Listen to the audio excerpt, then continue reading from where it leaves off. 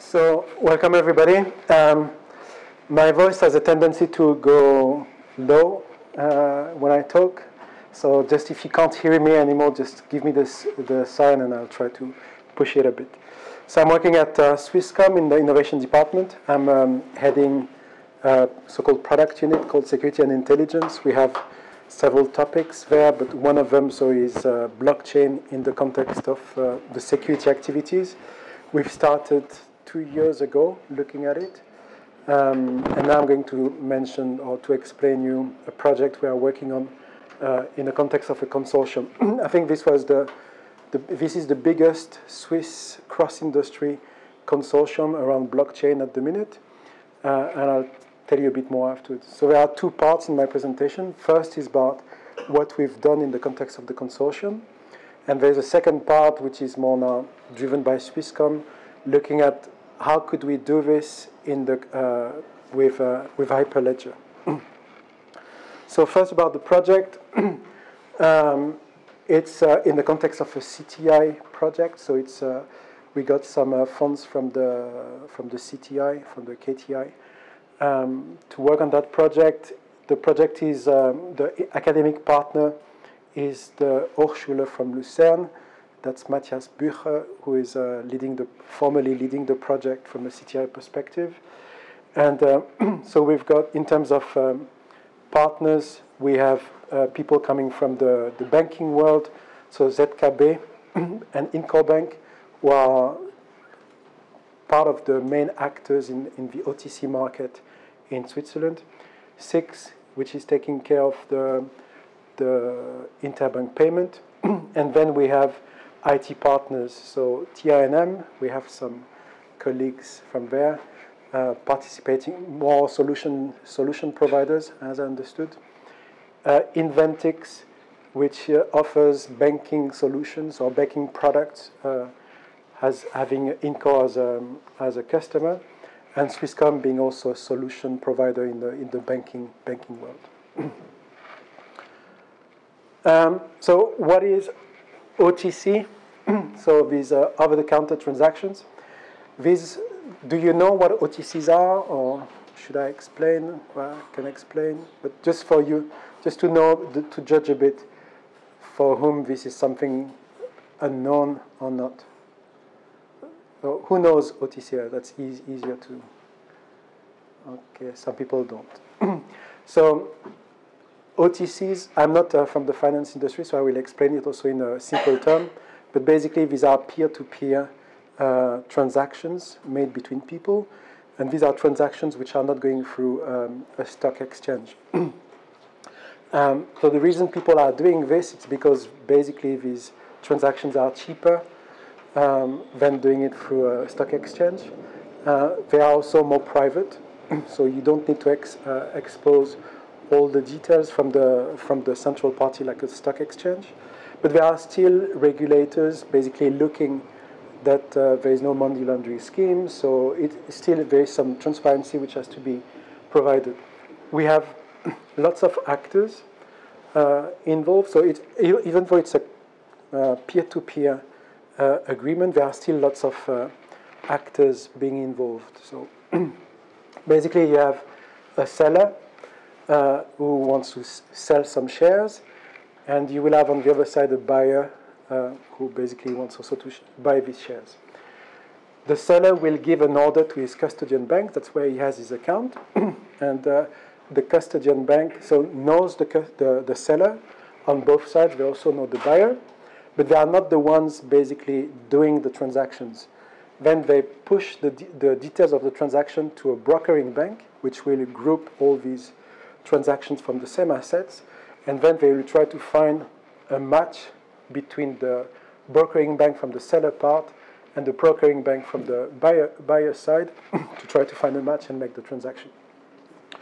The interesting thing is also the some information is not passed to the brokering bank. So the custodian banks know the, the, re, the retail customers, but that information is not passed to the brokering bank. They just see a certain amount of shares which wants to be bought at a certain price. and that's quite important. And we have some other actors. Um, look uh, around the transactions. So we have the share registry. They are the ones recording where the assets are going from which hands to the other. Um, SIC, which is doing so commissioned by the SNB in order to make the actual trans, uh, transfer of money, and the FINMA, which actually uh, is there from a regulatory point of view to check the details of the transactions. the FINMA has an interesting role because actually they see everything, they see all the details of the transactions. So, why did we want to apply blockchain into this context? One thing we can see is that it's a peer to peer transaction, and we have lots of intermediaries in between. So, one thought could be that blockchain could be to enable that transaction in a peer to peer fashion. That's not what we, that was not the purpose of our project. We didn't want to work against the ecosystem, but more with the ecosystem. so the, the benefits actually uh, fr from blockchain that we derive from that project, it's the immutable data. so this is more from an auditing point of view. So for the FINMA, basically you have the auditing track uh, trail, trail records, which are given by, by the blockchain. So you don't need to make some special auditing process to look at the transactions. The smart contracts offer this high level of automation, so it decreases costs um, uh, to make the transaction and it increases speed. One thing I forgot to say is that one thing we were told is the, for these, the way uh, OTC's transactions are happening right now, it can take between days to weeks for the settlement of the, of the transactions. and here, basically, with the automation, the, the business logic that we put in a smart contract, we can now uh, put this in, do this into a few minutes, best, uh, worst case in a day. The distributed, distributed architecture, which, uh, so this, these are more standard uh, blockchain properties, the fact that it's uh, DDoS uh, resistant and you, you can be protected against the data loss since you have copies of the data with several nodes. And the other part, which is um, interesting, so it's the, the fact that we have the sign addresses, and if these are correl correlated with uh, PKI infrastructure, which I will explain afterwards, then we have strong identity. So basically, we can track down who did which um, transactions. and yeah, so the um, we have some main actors and, uh, and entities. So basically, we have three main entities. We have the um, selling order, the buying order, the trading order. Then we see the roles and the, the, um, the rights they have on these orders. I won't go into the details, but, but yeah. So there's the order for the selling part, the order for the buying part, and then there's the trading entity, which makes the link between the, the two entities, the buying and the selling um, objects.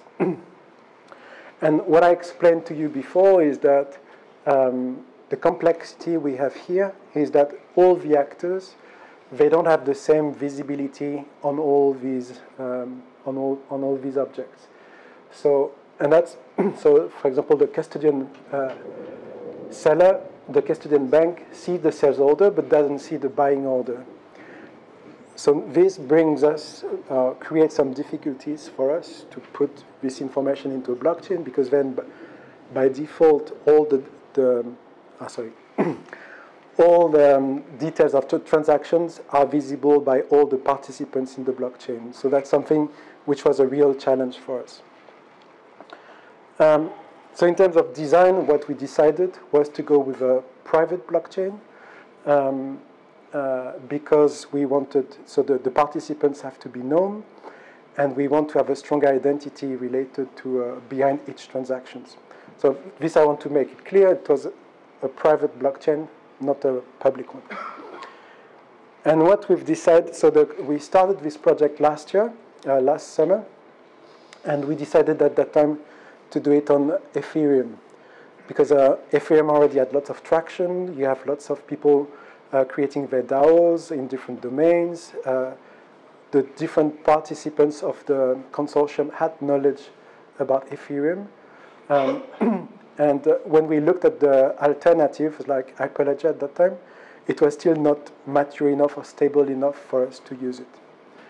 Um, but of course, Ethereum is, was main, is mainly designed for public uh, transactions, uh, sorry, public blockchains. So we had to deal with lots of um, hiccups, which I will now explain a bit. so, as I already alluded to it a bit before, the, um, the main challenge we had was leveraging the, the trade-off we had was leveraging the distributed uh, processing offered by blockchain, but still uh, respecting the privacy model we had. And uh, so smart contracts yeah, are very good for the decentralized data processing, but the data, as I explained before, is visible to all participants. And if we encrypt the data, uh, that could be a way to ensure this privacy. Then the problem is the, the data is also encrypted for the smart contract, so you can't implement a business logic into the smart contracts. So there is a bit this trade-off between leverage, uh, respecting the privacy, um, the privacy guidelines, but still using uh, the smart contracts, because we didn't want to use it only for um, distributed data repository. So the way we addressed it, so we did we did some trade-off. What we decided was to encrypt the data and store it into um, an external database. So we used IPFS. Uh, it was the first time we used IPFS, so it was also a learning experience for us to see uh, why IPFS, because basically there was uh, it's said to be quite convenient with uh, to use it with the blocks of Ethereum. Um, and so, yeah, we stored basically the data on this distributed database, and we only stored the hashes of the encrypted data into the blockchain. So then we could make a reference between the encrypted data and the, the blockchain. so we had also to come up with an encryption scheme. Uh, I won't go into the details of this, but just trying to um, uh, basically to these encryption schemes replicate the business logic I showed you before, like uh, and basically when a, a, broker can look at the data first, it has to be encrypted by a, um, a custodian bank and vice versa. So that's the, the way these the keys are used replicate or replicate that business logic. um, so the data was encrypted not usable by the smart contract, but the smart contract uh, know the identity of the participants. So then, based on the role of the participant, we could uh, we could uh, um, enter the business logic in the smart contracts. and so, what the smart contract do is that they control the life cycle of the of the order, and they also control, based on the roles of the parties, who has the right to change an object from one state to the other. So from the creation of an order till the processing of that order till the fulfillment of that order. So that's the trade-off we, we did. um, now I'm showing you something which is, which is still in discussion in the consortium is how do we, um, now that we have a bit these, these design principles, what is the architecture we can put in place to have a, uh, running process on it. So it's, as I said, it's a working document or working picture. It hasn't been agreed by the consortium yet. But the idea is that um, each participant can have a, a node, uh, an Ethereum node, and we enhance that Ethereum node. So, as I said, we have the IPFS uh, module inside the inside the node, so the Ethereum node. We also had the distributed the PKI infrastructure, uh, and which encrypt the data based on the encryption schemes I showed you before. The PKI infrastructure is also supported by um, certificate authority that we had to create, and uh, the encryption the um, we use B, uh, PGP basically. So we had to uh, add these PGP modules in order to provide the encryption. But another aspect also, we could have a completely um, mashed network between all the uh, network elements. But the idea was also, like InCoreBank has, what we realize is some banks, for various reasons, some actually for security uh, uh, perspective, were saying they can't run the nodes in their data centers because some of the technologies which are used, like Node.js, are not certified yet uh, by the banks, so they can, can't roll this out in the banks. So they said actually they would be interested in having um, outsourcing partners running the, the um, nodes for them.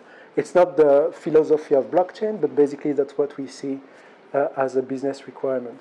So there is a mixture between some of the participants running their own nodes and some of them actually delegating this to IT partners, be it Inventx, be it uh, Swisscom, to run the nodes on their behalf. so that's more or less where we are. Um, we are discussing now uh, how to make the. There is a, um, a video on the website. We can show you a bit of, of uh, a demo of the, the, the system. It's not um, industrial proof yet, so we are basically thinking about phase two, where we'll try to come up with something a bit more usable. Um, and that's where we stand. On the Swisscom side, we were not totally happy with um, this implementation because we thought it's um, the key management uh, we had to do around was a, a, sort of a hack around the Ethereum node some of the business logics of this encryption um, um, uh, scheme, scheme schema uh, I mentioned before is done outside of, of, the, of the chain. We had some problem with stability with the IPFS uh, modules. and um, basically it was very di difficult to, uh, to manage. What we also realize it's um, Ethereum limits us in terms of requests we can make. Um, yeah. so in between, uh, Hyperledger released a version. So we worked more on the 0.6, but very recently, the version 1.0 has been uh, released. And what we see is that uh, Hyperledger provides some of the key functionalities uh, we want. So, for example, there is an identity management module which has its own certificate authority. Uh, we don't need to uh, bring our own encryption schema. We can leverage basically what's already here.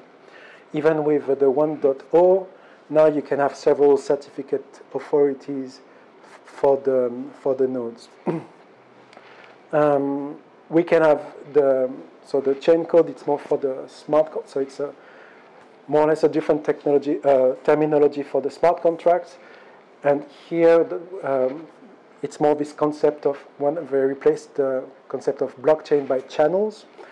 The fact that now per node you can have you can they can run several nodes, uh, several blockchains, sorry, several channels as they say. Um, and in order to go stronger in this, Swisscom decided uh, at the end of last year to be part of the um, Hyperledger consortium. So we joined it on the I think the, that was the day before, the 20th of December. We are the first Swiss uh, company jo uh, joining the Hyperledger uh, consortium, and that gives us a bit more insights on how the project develops, um, a bit more support also from the community to to not to debug things, but to know how to use it because everything is not uh, documented there. so um, to explain a bit how Hyperledger works.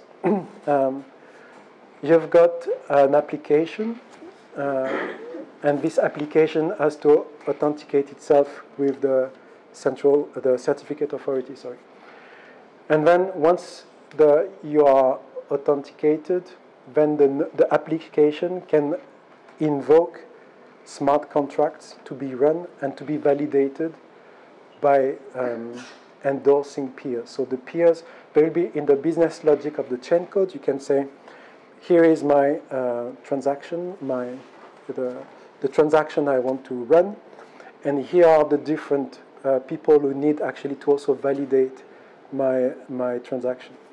So once they run it and they find the same result, they can sign the result and send it back to the application the application then will send the sign transactions to the orderer. So there they come with their own terminology, but um, do you know Hyperledger or not? Or do I explain something which is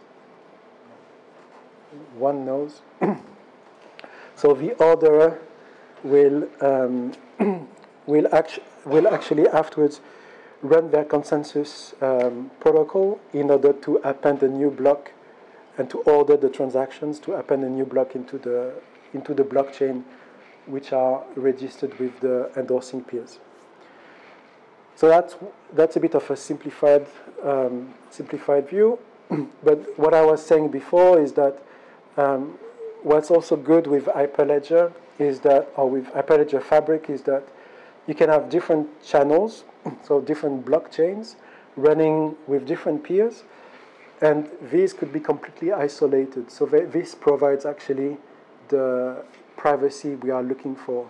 You can only put the peers which have to be involved into the transactions, and you can exclude the others. And for this, you only need to create a channel, a blockchain, for where only these ones will have access will have access to it. and the other thing, and you can use different uh, certificate authorities per, per channel. The interesting thing is also that the orders, even though they are part of, of different channels, you can use, you can leverage the same, and you can also raise this concept of uh, um, pluggable consensus. So you can use different consensus um, uh, models or algorithms to reconcile what should be the state of your blockchain afterwards. but you are still, questions you are still linking both blockchains, no? Because they are all living on their own. Yeah.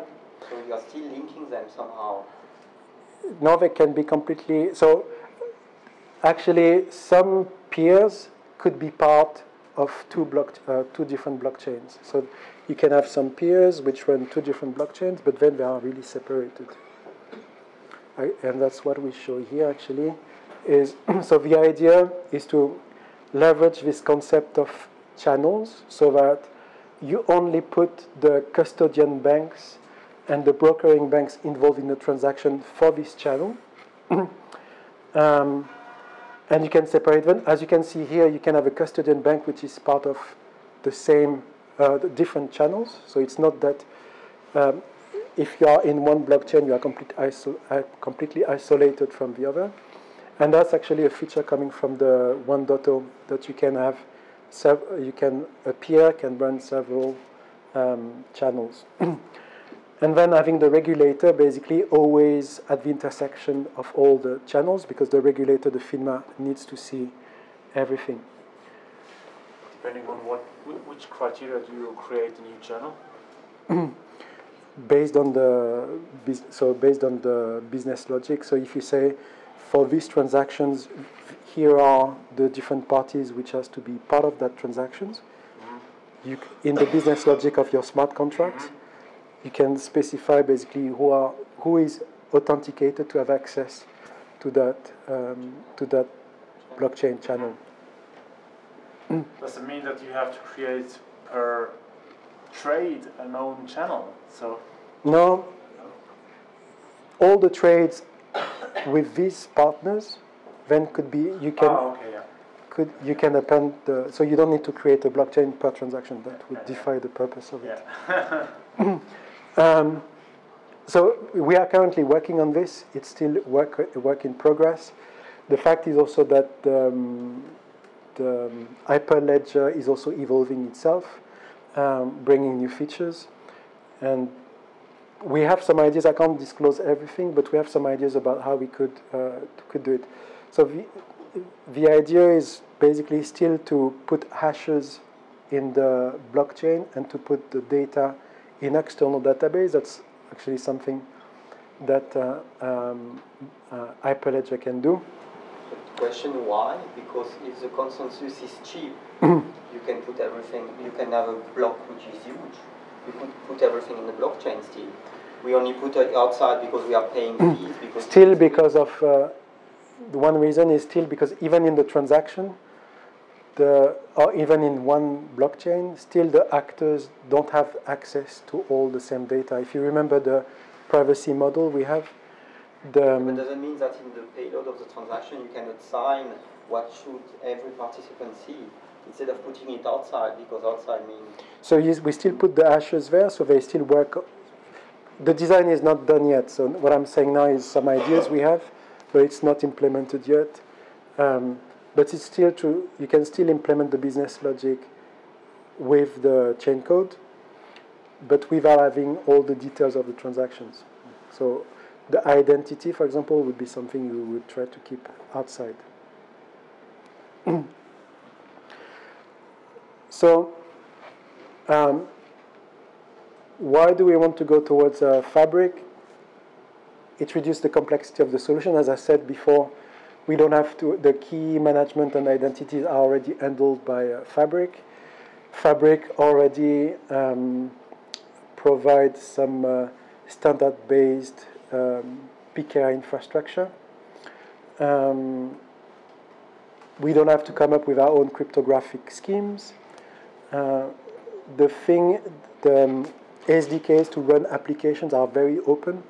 So it's not like with Solidity where we are a bit um, um, limited for the debugging part, that also the objects have to be quite simple. But actually, we can, with these SDKs, we can use uh, all the normal, normal languages uh, we want. There's this announcement about CouchDB, um, so you can save the, um, the, the data, so the, the data can be backed up in, in CouchDB which is a non-SQL database, and it, it manipulates JSON um, objects. I haven't tried that yet, but basically it seems this will give us much more uh, power in, uh, in dealing with complex uh, data structure. Uh, the other advantage is that the, the business logic will be 100% based in the chain, which we didn't have before. Um, and these, so these these are more or less the directions we are, we are following. However, um, we still need to, we are not fix, fixated on, uh, on um, Hyperledger. There is this um, Ethereum, uh, Enterprise Ethereum Alliance, which has been announced recently. Um, we have worked a lot with uh, Ethereum before. The banking industry is pushing much more this initiative. Yeah sorry, has to do with not with the Ethereum Alliance, but what does key management is handled by the Fabric mean? So you have this, um, you have this um, PKI. Uh, but why they provide hardware modules, or what does it mean Actually, that they handle the keys?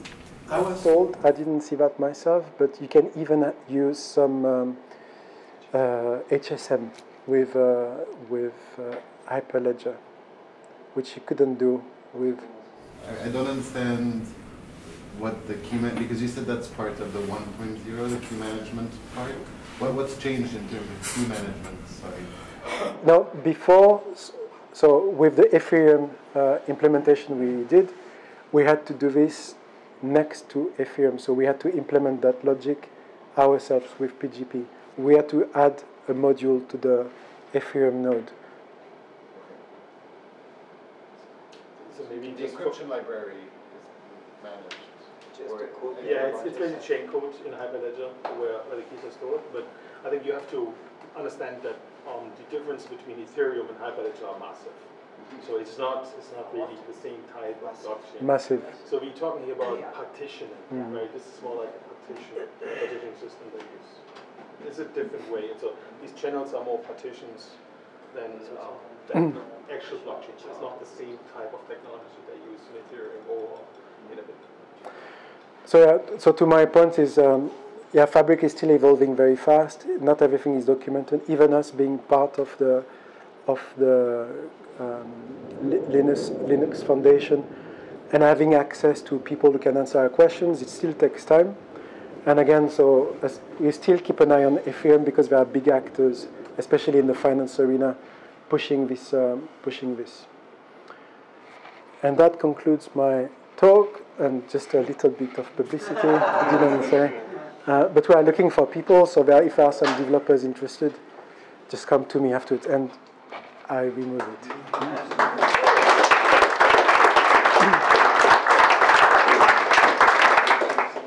Floor is open for questions. I have a question about the, the speed, the, the, the number of transactions you are able to. With Hyperledger? Yes. Did you Um, analysis about that? So I don't remember. I think they use PBFT uh, for the consensus right now in the experiments the team is doing, um, and that's much faster. But we didn't try to test what would be the the limit we would reach. Uh, but it's much faster than Ethereum. It's because the complexity is low, you can use uh, low complexity, that's why. You know the part the partners. Yeah. Um, so the, the trust model is a bit different, uh, and it's more based on this uh, uh, voting principle, basically. Is there a currency underlying Hyperledger?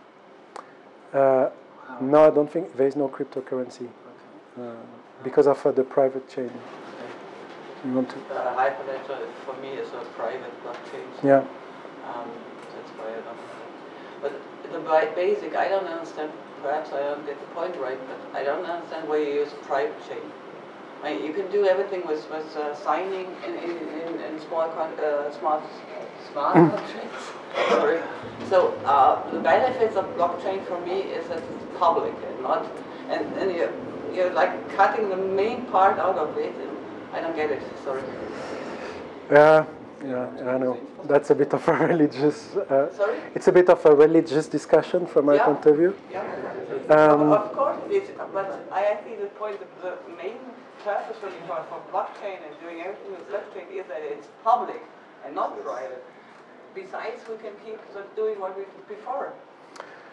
Um, yeah, but still, uh, so two things. Um, with a public chain, still, what we would like still is a stronger identification of the parties being part of it. And as I said at the start, yes, we could think about going orthogonal and rethinking how it's done, and uh, trying to do more peer-to-peer uh, agreement. But Swisscom being Swisscom, um, Yeah. we can't. But Like what at this what the value of making it public? Nobody would be interested to mine. What is it? To verify the transaction except the participants. Well, to, to a certain degree, we What wanted to. more to be public. Imagine it's public tomorrow. What does that bring more? Nothing. Does Well, then you You still can have the. change the transaction, what is inside.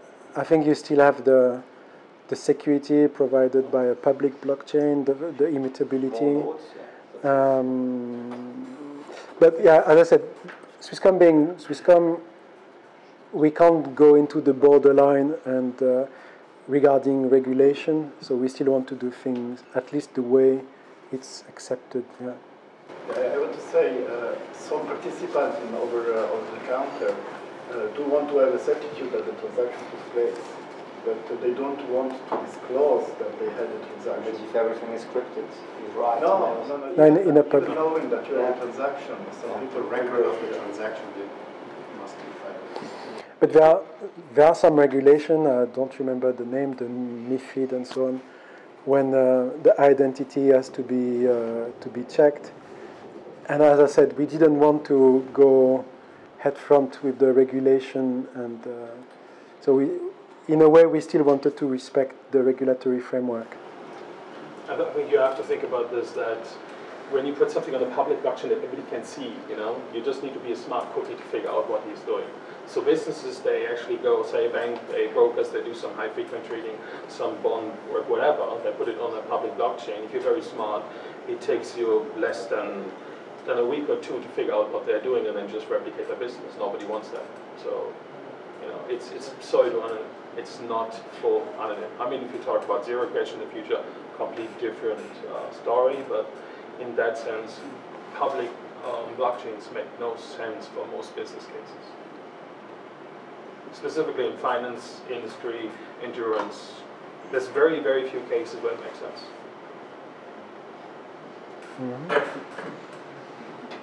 Yeah. Uh, you mentioned regulation topic. Uh, on your website of OTC chain, uh, you mentioned there is mentions that uh, it is uh, compliant with MiFID or EMIR, and uh, what is it? Uh, meant, what is it meant by, by the how can the how is the chain uh, compliant with MiFID two or?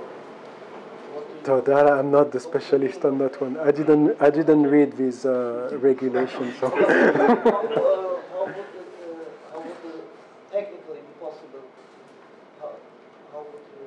I think it's this audit trail still when you register. I think the, the key point is uh, to know who transacted what with whom. To make it very simple. So just about the identity.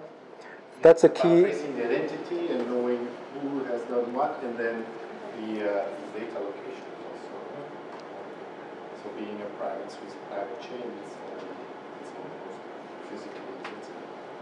And then you have to trace, you can trace back to the, to the, uh, to the actual buyer itself. So the fact it's compliant. I, here I repeat what's the I think it's Lucerne basically, uh, the academic partners who made that review, but I can't judge it for myself. That's why the FINMA can see everything, despite all the channeling and grouping and segregation and privacy. But the regulator can, can have an overview of all transactions, about who did what. Do you have a specific um, product that is in Switzerland that you are you want to use this for? Um, I don't know what the OTC market is in Switzerland, but you know things like currencies or OTCs. There's many you know sophisticated. Uh, um, Yeah, there, uh, there are some ideas. options. So there's, there are some limitations. Um, w- I would say one of the biggest limitations we have is um, if we can apply this for assets which are already existing, which are where you already have paper forms, Right. and how to bring this onto the blockchain. So we had discussions about doing it for um, only new assets, or there are some other ideas, but that I'm not sure I can disclose uh, for some of s- structured product. So, someone is waiting. Is there a particular reason why Node.js is used as a technology for the backend to communicate with the CA?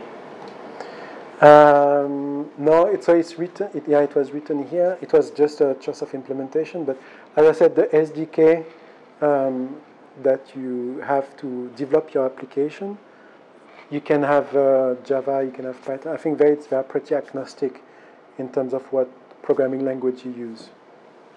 Okay. Yeah. So what about the transaction costs? Uh, can you say anything about that using your your new idea? Um, again, it's um, private chain. So, um, you mean in, in comparison to a Bitcoin approach, or? Wow. Um, again, we, we don't try to make the the computing power is not the discriminatory factor to to append a new transaction. So there is no arm race for this. You check a token, basically, no? It's proof Mm. of. So it's more based on these endorsers uh, signing the transaction. Uh, Now, I'm- uh, you're talking about Ethereum or the Hyperledger now? well, I, I only know Ethereum Hyperledger isn't. I'm not very familiar with Hyperledger, so I wouldn't. So with Ethereum, yeah, with Ethereum, basically we uh, we lowered the le- so again there is no arm race, so we lowered the um, the requirement for the proof of work artificially, so that there is no need to put lots of uh, compute power in it. And that's the limitation of the private chains versus the public chains. Did you look at proof of stake in that context with Ethereum? Um, no, with Ethereum we use proof of work, but again, it's a bit artificial. So, and, and that's the limitation of using uh, a platform which is designed for public chain in a private chain manner. And we don't need proof of work for uh, Hyperledger. It would be different if, excuse me, if when Ethereum goes to proof of stake, it would be easier to implement it. Yeah, that's what I thought too. And they, I think they're working on it, but you can't really. Yeah, yeah, it should be about the end of the year, Yeah. theoretically. Yeah. But you still have all the limitations about, you know, confidentiality and privacy. So these remain. Adding to an earlier question, uh, where does this start and where does it end? More specifically, does it, for instance, include the tokenization of the assets, or are you also taking care of the matchmaking between the buyer and the seller, or is that kind of deemed to be outsourced? Um, so the matchmaking, we are doing it, but in a simple way. So there is no high trading things or doing it super fast. Um, so we did something pretty simple to make the matchmaking, and the other part was the tokenization. Um, yeah, we basically there we give an identity to the assets in the what we've done on Ethereum. inventory management, basically. Yeah, so that's the share registry I was mentioning before. The share registry, which so creates, which keep tracks. Uh, we implemented this or not, Michele? You remember? The share registry, the mechanism there. Okay. Uh, but it's it's part of the scope, so yeah, that we keep track of who owns which asset. So we did we keep the identity of the assets. The shares are digitalized, yeah, of course. Yes. So we know who has bought what, who owns what. It's clearly identified in the share register immediately. And if you do the matchmaking yourself, you can also prove the best execution and stuff like that, right? Yeah, that's a different topic. You know, in the OTC market, is not a priority. Okay. Yeah, the volume is quite small still in Switzerland. Uh, you mentioned that uh, the OTC trading uh, takes a couple of days uh, in the current system. Yeah. Uh, now you can do it in minutes. Mhm. Uh, why is it so slow? So where is the? I mean, banks are. No, well, that's a good question. Um, we had this discussion with the banking partners at the start, mainly because they were saying that uh, it's uh, on the phone sometimes that they do the transactions with Excel, uh, manual process. Sometimes they have to revert back an order when they've realized that some uh, constraints were not respected. And um, yeah, I think that's the main reason. It's more uh, a legacy type of uh, process. But again, I'm not a banker, so the shares, which is normally paper, from the storage of the buyer to the storage of the seller. Only then the custody can say the transaction is finished and then it is done. So the process is completely manual at the moment for many shares on the OTC markets. That's the basic reason why it takes up to 15 days.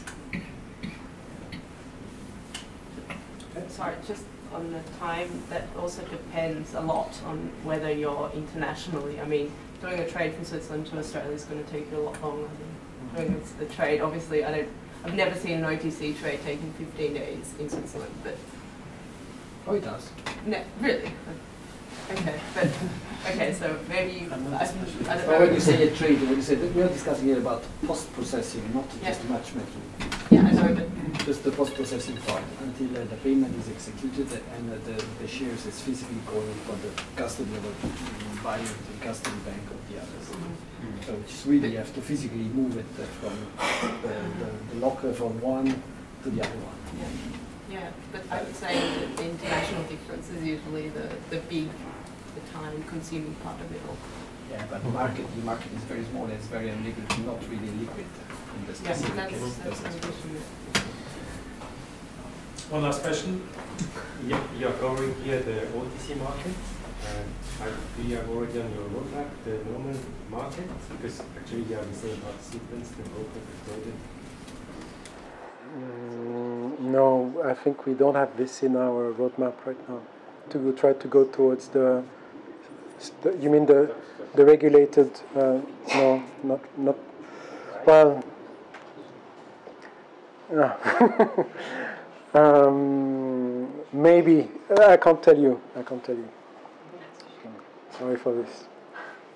Thank you, David.